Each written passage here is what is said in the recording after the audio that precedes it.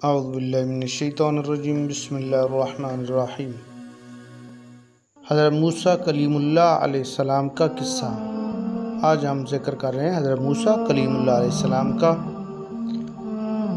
मूसा बिन इमरान बिन काहिस बिन आज़र बिन लावी बिन याकूब बिन इसहाक़ बिन इब्राहीम सलाम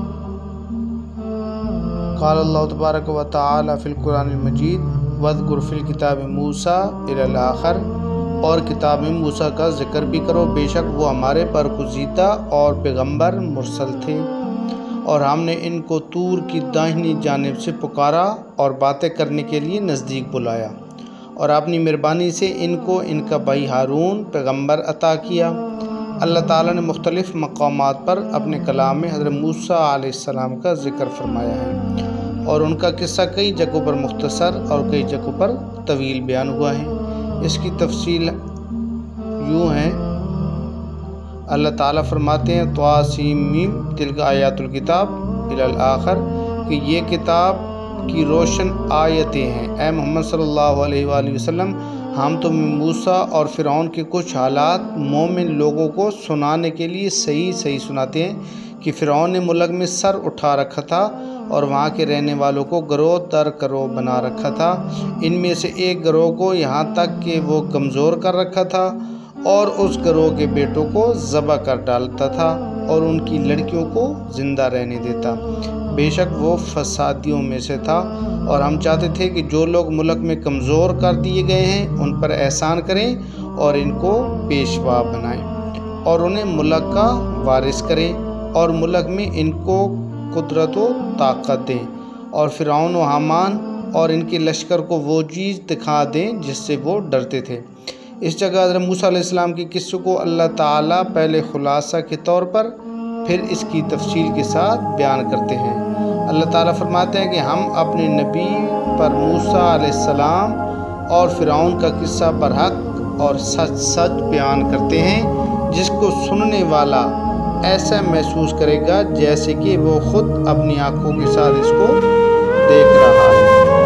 यकीनन फिरौन ने ज़मीन में सरकशी की और वहाँ के रहने वालों को टुकड़ों में बाँध दिया। यानी कि फ़िरौन ज़मीन में सरकशी और तुगयानी और ज़्यादती पर उतर आया। उसने दुनिया की ज़िंदगी को तरजीह दी और सबसे ऊँचे रब की इतात से मुँह मोड़ा और अपनी रियाया को इसने मुख्तलिफ़ ग्रोहों और फ़िरकों में बाँध रखा था। और बनी इसराइल को कमज़ोर कर दिया था, जो अल्लाह के नबी याकूब बिन इसहाक बिन इब्राहीम सलाम की औलाद में से थे। वो उस दौर में ज़मीन के बासियों में सबसे अच्छे थे, लेकिन इस ालिम जाबिर और काफिर फाजिर बादशाह ने इन पर अपना तसल जमा लिया। वो इनसे अपनी पूजा करवाता और इनसे घटिया जलील तरीन काम लेता था, बल्कि इस पर ज़्यादा ये कि इनके बेटों को ज़बह कर देता। और इनकी बेटियों को ज़िंदा छोड़ देता था। बेशक वो फसाद बर्पा करने वालों में से था। वो इतनी बुरी और अखलाक से गिरी हुई हरकत इसलिए करता था कि बन इसराइल हज़रत इब्राहीम से ये बात नकल करते थे कि इनकी औलाद से एक लड़का पैदा होगा जो बदशाह मिसर फ़िरौन की तबाही का बायस बनेगा। ये इस वक्त की बात है जब हज़रत इब्राहीम अलैहिस्सलाम की बीवी सारा के साथ इस वक़्त के मिस्र के बादशाह ने ज़्यादती करने का इरादा किया था। नाउज़बिल्ला मिनजालिक और अल्लाह ताला ने अपने फजल एहसान से इसको बादशाह की तस्त दरासी से महफूज रखा था। और ये खुशखबरी बनी इसराइल में मशहूर मरूफ थी। और बनी इसराइल आपस में ये बात बयान करते रहते थे, फिर ये खबर बादशाह मिस्र फ़िरौन के पास, इसके बाद गुजरा और दरबारियों के ये लोग रात को फ़िरौन के पास बैठकर किस्सा गोई करते थे तो इस लड़के के डर से इसने भी इसराइल के लड़के कत्ल करने शुरू कर दिए और कत्ल करने का हुक्म जारी कर दिया। लेकिन अल्लाह ताला की तकदीर के मुकाबले में कोई बचाव और एहतियात, कोई फ़ायदा नहीं दे सकते। हज़रत अबी मसूद रज़ी अल्लाह तुमा और दीगर साहब कराम रज़ी अल्लाह तुमा से है कि फ़िरौन ने ख्वाब में देखा कि एक आग बैतुलमुक़द्दस की तरफ़ से आई है। और इसने मिस्रियों के घरों और कुत्तियों, फ़िरौन की कौम को जलाकर रख दिया है। और बनी इसराइल का कोई नुकसान नहीं हुआ। फ़िरौन घबरा कर नींद से पैदार हुआ। इसकी घबराहट जूँ जूँ ज़्यादा होती जा रही थी। इसने काहिनों, जादूगरों और दीगर माहरीन को बुलाया और इस ख्वाब से मुतल इनसे पूछा। तो उन्होंने इसको बताया कि ये एक लड़का है जो बनी इसराइल में पैदा होगा और अहल मिस्र की तबाही बर्बादी का बायस बनेगा। बस इसी वक्त से इसने बनी इसराइल के बच्चे कत्ल करने और बच्चियों के ज़िंदा छोड़ने का हुक्म दे दिया।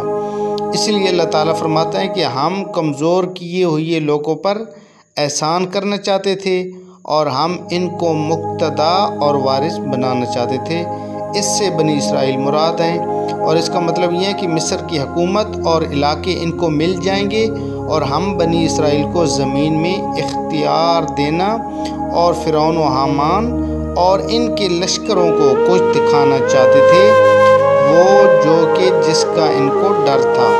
यानी कमज़ोर को ताकतवर, मजलूम को ज़ोर आवर और जलील को और ये सारी बातें बनी इसराइल के बारे में कही जा रही थी। जैसा कि अल्लाह ताला फरमाते हैं वौरसनकौमदीन कानून आखिर और हमने इन लोगों को जो ज़यीफ़ शुमार किए जाते थे, सरजमीन मशरक़ और मगरब का वारिस बना दिया।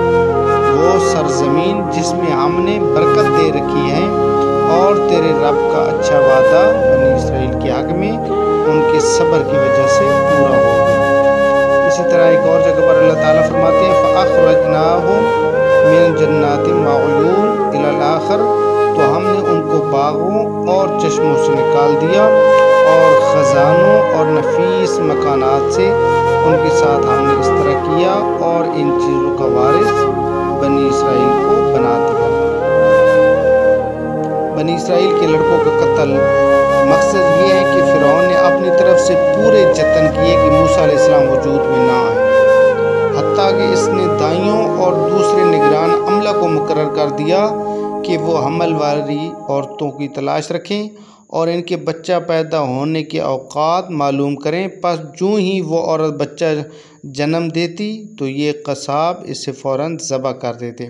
अहल किताब के यहाँ ये बात यूँ हैं कि फ़िरौन बनी इसराइल की कुत कमज़ोर करने के लिए इनके बच्चों को मरवाता था, ताकि जब कभी मुकाबला में आमना सामना हो तो मुकाबला में ना ठहर सकें। लेकिन ये बात महल नज़र, बल्कि बिल्कुल गलत और झूठ है, क्योंकि फ़िरौन मूसा इस्लाम के नबी बन जाने के इस मकसद के लिए बच्चों को कत्ल करने का हुक्म दिया था। जैसे कि अल्लाह ताला फरमाते हैं बस जब वो इनके पास हमारी तरफ़ से दिया हुआ हक लाया तो उन्होंने कहा कि इसके साथ ईमान लाने वालों के बच्चों को कत्ल कर दो और इनकी बच्चियों को ज़िंदा छोड़ दो। अगर ये वीडियो अच्छी लगे तो प्लीज़ लाइक कर देना और हमारे चैनल को सब्सक्राइब कर देना ताकि नेक्स्ट आने वाली वीडियो आप तक पहुँचती रहे और बेल के आइकन को भी प्रेस कर देना। अल्लाह ताला आप सबका हम नासिर हो।